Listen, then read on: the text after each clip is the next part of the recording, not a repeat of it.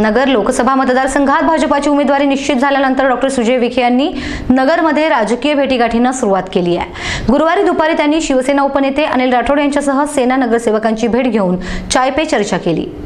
भाजपमध्ये दाखल झालेल्या डॉक्टर सुजय विखे यांनी गुरुवारी मुंबईहून नगरला आल्यानंतर आधी शिवसेनेचे शहराचे माजी आमदार अनिल राठोड यांची भेट घेतली.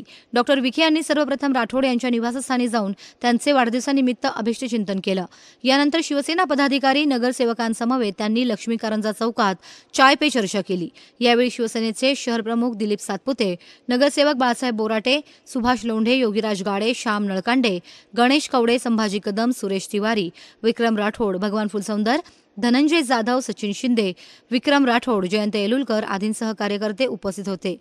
डॉक्टर सुजय विखे यांनी सदिच्छा भेट घेतल्याचं सांगत राठोड यांनी निवडणुकीत पक्षप्रमुख उद्धव ठाकरेंच्या आदेशानुसार काम करणार असल्याचं स्पष्ट केलं. पुलवामा हल्ल्यानंतर एक वेगळ्या मनस्थितीत आलेला हा देश आहे.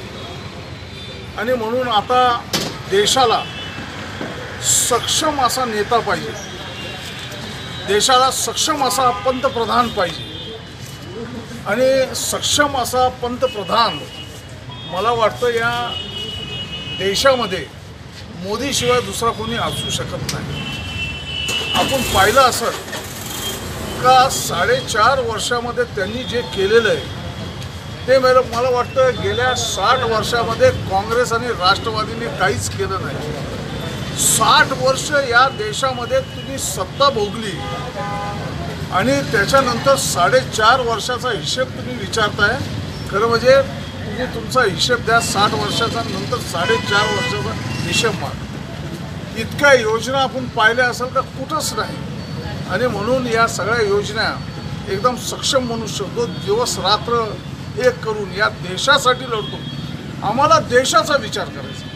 आणि म्हणून असा तरुण उमेदवार या नगर शहरामधून लोकसभेवर जावा.